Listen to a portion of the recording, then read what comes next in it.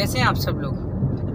तो एक बार बहुत बहुत स्वागत है आपका हमारे इस यूट्यूब अकाउंट में जिसका नाम है बहुजन यूट्यूबर मैं हूँ आपका दोस्त सोनू निगम।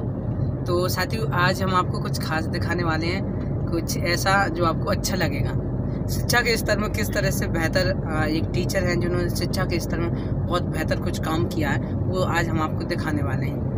तो साथियों इस वक्त हम उस गाँव के लिए निकल चुके हैं, जिसकी अभी मैं आपको थोड़ा सा बता रहा था कि आज हम एक गाँव में जा रहे हैं, जिसमें हम आपको एक ख़ास चीज़ दिखाने वाले हैं। वो क्या चीज़ है, वो हम आपको पहले से नहीं बता रहे हैं, क्योंकि कुछ सस्पेंस रहना चाहिए। तो अभी हम निकल चुके हैं और मेरे साथ देखिए, बाइक, गाड़ी है गाड़ी में कौन कौन है।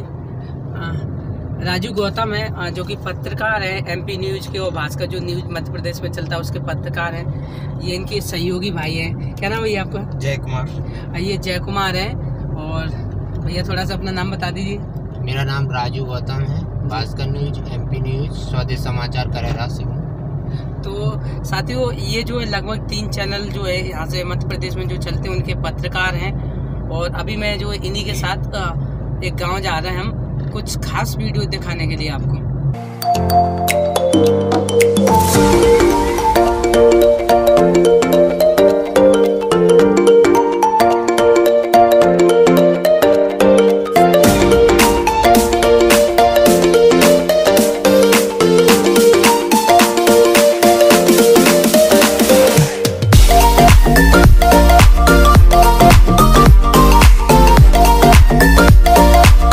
साथियों सबसे पहले मैं अब आपको दिखाने वाला हूँ कि ये जो स्कूल है, उसका ग्राउंड किस प्रकार का है।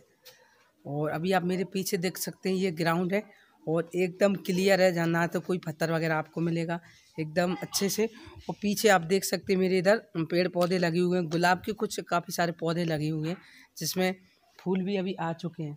इस तरफ़ आप मेरे और पीछे देख रहे हैं, ये देखिए पूरी लाइन से जो है, एक फूलों का पूरा बाग सा बना के रखा है। और मैं आपको दिखाने वाला हूँ कि यहाँ पर जो पानी की क्या व्यवस्था है। आप मेरे पीछे देख सकते हैं, ये हेडपम्प है और इसमें पर्याप्त पानी आ रहा है। अब ये देखिए, पानी टपक भी रहा है। थोड़ी देर पहले भी हमने इससे पानी पिया था, काफ़ी अच्छा पानी था। अक्सर आप स्कूलों में देखते होंगे कि हेडपम्प ख़राब होते हैं।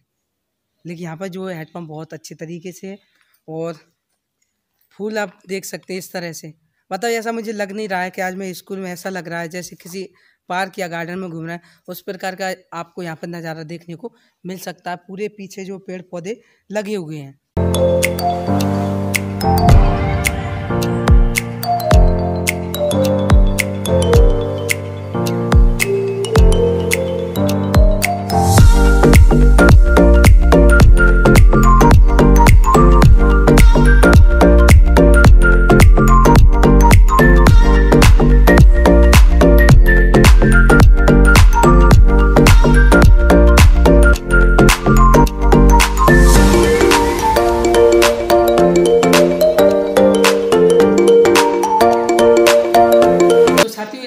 देख सकते हैं मैं स्कूल के अंदर हूँ और स्कूल की जो क्लासेस हैं वो मैं आपको दिखाने वाला हूँ।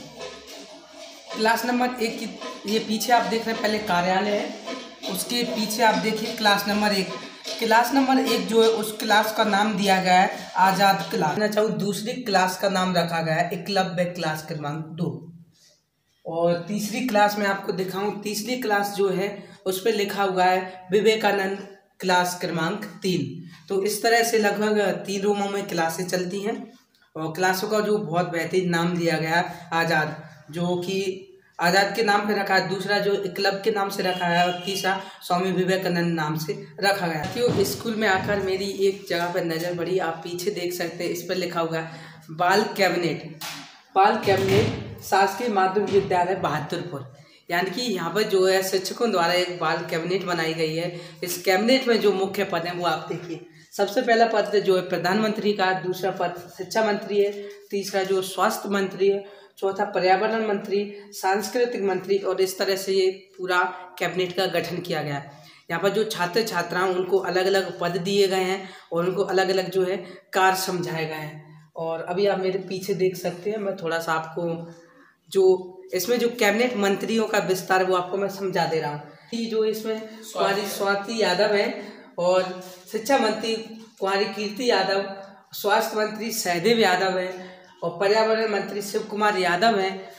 सांस्कृतिक मंत्री कुमारी मुस्कान अनिल है और लास्ट में इसमें राजा जाटव। तो इस तरह से जो पूरी मंत्रिमंडल का गठन किया गया है। और इनके बारे में थोड़ा सा भी जो हम टीचर से बात करेंगे तो वो हमें और बेहतर इसे समझा पाएँगे। तो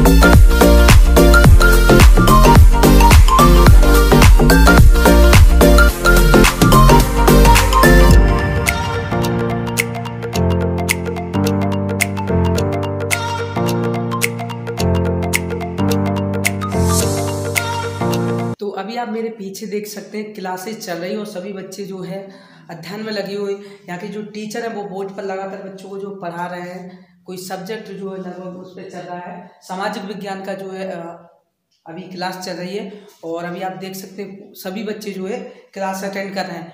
और यहाँ पर मुझे आकर एक चीज़ विशेष देखने को मिली, आप देख सकते हैं, सब बच्चे जो ड्रेस में हैं। एक भी आपको ऐसा स्टूडेंट इधर नहीं देखेगा जो ड्रेस में ना हो, जो है आईडी कार्ड लगा हुआ है। अगर आप किसी भी छात्र के देखें तो सभी छात्र जो है, अपने गले में आई कार्ड टांगे हुए हैं। तो साथियों, आप देख सकते हैं दीवारों पे कई सारी पेंटिंग्स बनी हुई हैं, जिसमें गणितीय चिन्ह हुए, मुख्य त्यौहार हुए। तो आप अभी पीछे देख सकते हैं, मुख्य दिवस पर लिखा हुआ है, दो अक्टूबर, गांधी जयंती, चौदह अप्रैल, डॉक्टर अंबेडकर जयंती, तीन सितंबर, शिक्षक दिवस, पाँच सितंबर, शिक्षक दिवस माफ़ी चाहूँगा।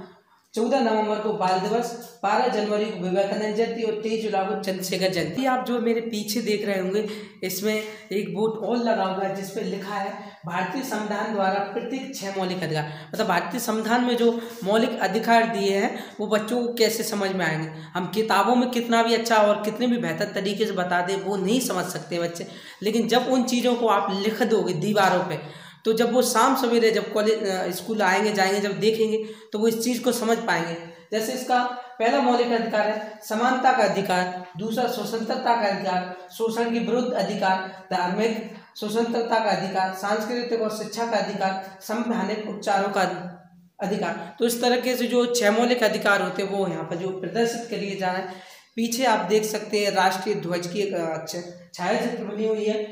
गणतीय आकृति। गणित की जो आकृतियाँ होती हैं, वो इसमें समझाई गई आग और वर्ग इस तरह से आपको जो तमाम चीज़ इसमें देखने को मिलेगी। पीछे देखिए, हिंदी के रस, गणित के सूत्र, जो कि ताकि बच्चों को जो जल्दी से समझ सके।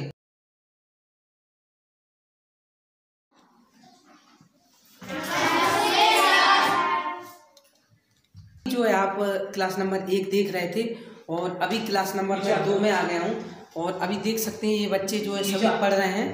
तो अभी आप पीछे देख सकते हैं जो छात्र हैं वो प्री बोर्ड जो परीक्षा होने वाली है उसकी तैयारियों में लगे हैं और सभी बच्चे आप देख सकते हैं इस तरह से जो है अध्ययन कर रहे हैं।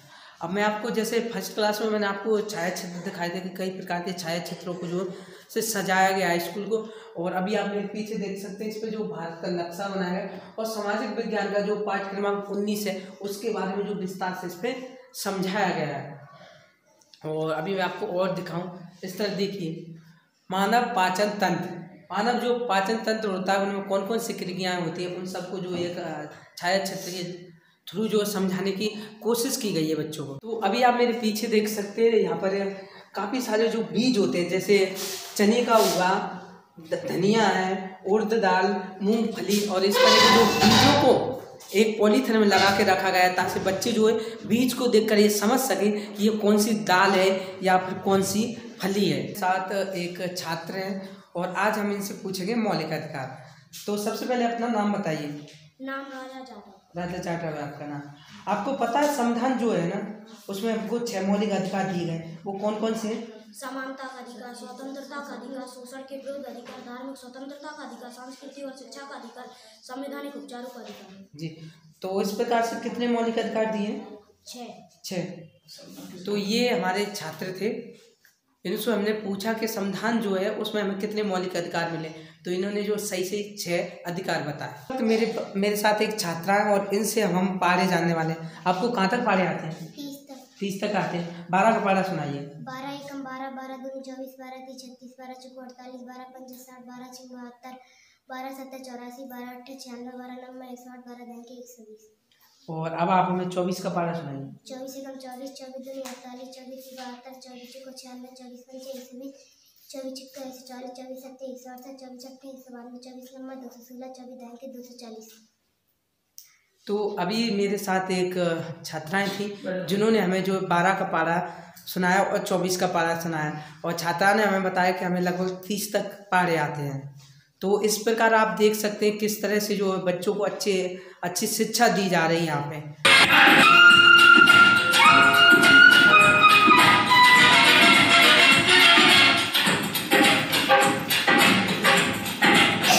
तो साथियों इस वक्त मेरे साथ इस स्कूल को जिस स्कूल के बारे में अभी आपको बता रहा था उस स्कूल के टीचर हैं और इनसे हम बात करेंगे। सबसे पहले सर आप अपना नाम बताइए। मेरा नाम दीपेंद्र पाल मौर्य है। जी सर। तो सर मैं आपसे ये जानना चाह रहा हूँ कि आप बच्चों को किस तरह से पढ़ाते हैं? देखो हम क्या है यहाँ पर दो शिक्षक हैं। जी। एक मैं और एक हमारे साथी अतिथि हैं। हम लोग हर पाठ को बोर्ड के माध्यम से बच्चों को पढ़ाते हैं। जी। और टीएलएम के ज़रिए अपना जो टी, टीचर लर्निंग मटेरियल होता है उसके अनुसार हम बच्चों को पढ़ाते हैं और पाठ के माध्यम से पढ़ाते हैं।